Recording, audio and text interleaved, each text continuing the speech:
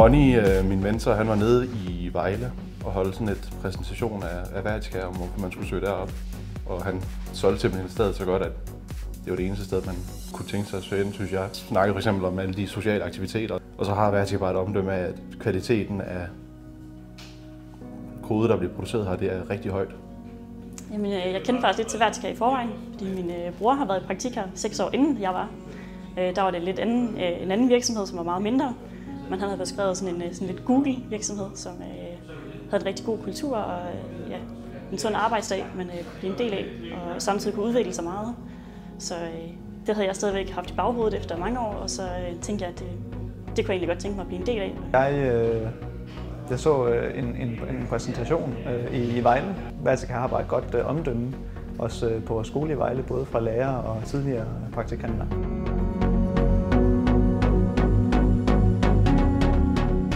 Det er, det er super fedt. Altså socialmæssigt, der, øh, hvis man er i tvivl om noget, så kan man bare komme og spørge hvem som helst. Om det så er en af lederne, eller om det er en, en udvikler, der sidder ved siden af, eller om det er en, der sidder på et helt andet hold, så er folk altid klar på at undervise en lidt, eller fortælle om de ting, som man er i tvivl om.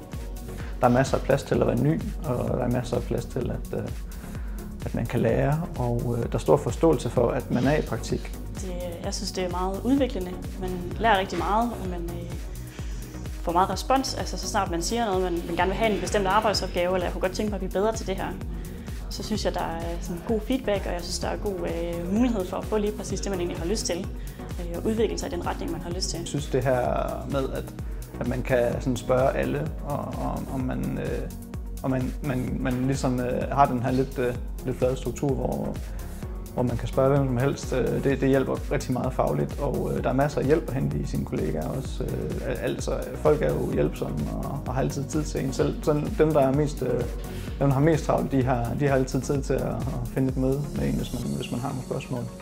Øh, så det er super fedt. Og øh, så er der selvfølgelig også de her sociale arrangementer, som man har mulighed for at deltage i. Så, så sådan, ja, så sådan rent socialt, der synes jeg også, det, det, er, bare, det er bare et rart sted at være.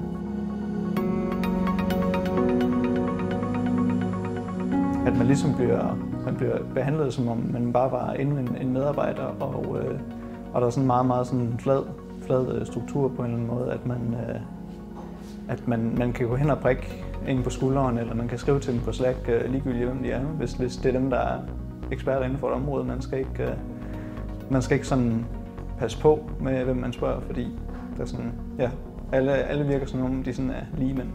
Det fedeste ved at arbejde, synes jeg, det er, at man ved, kvaliteten er høj. Så det, man lærer, det er det nyeste af det nye. Så når man er færdig her, så er man virkelig fremme i skoene.